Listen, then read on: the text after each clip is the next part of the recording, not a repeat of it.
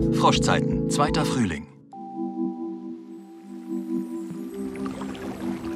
Hey Jake, was meinst du, woraus dieser Fluss besteht? Mann, das will ich gar nicht wissen. Wieso tauchst du dein Gesicht nicht rein? Ich bin die Galionsfigur. Dann beulen Prinzessin so, raus aus meiner Küche, Phil.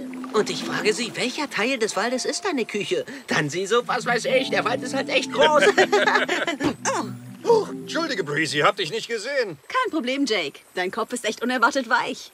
Das sind meine niedlichen Nackenfältchen. was machst du hier im Fluss, Bee? Ich suche nach Gold. Gold? Gold! Vergoldest du deinen Bienenstock? Sei nicht albern, Finn. Das ist für Honigmann. Hey, wollt ihr Jungs helfen? Klaromatisch. Hey, Finn, weißt du was? Wir zwei haben echt ziemlich was auf der Pfanne. Mann, der Spruch war echt goldig. Ach, Jake, du warst schon immer mein Goldstück. Hey, warte, wir haben noch mehr. Hier für dich, Großer. Bing! Wow. Wow! Und das war noch nicht mal das Beste dran.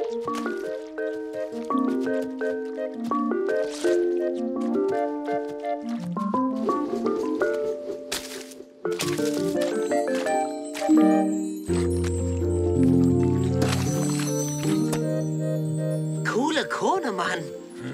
Ich könnte schwören, ich habe die Krone schon mal gesehen. Jake, wir müssen diesem Frosch folgen. Tschüss, Breezy. Was glaubst du, was passiert, wenn er die Krone aufsetzt? Vielleicht reißt er uns in einen Zeitstrudel.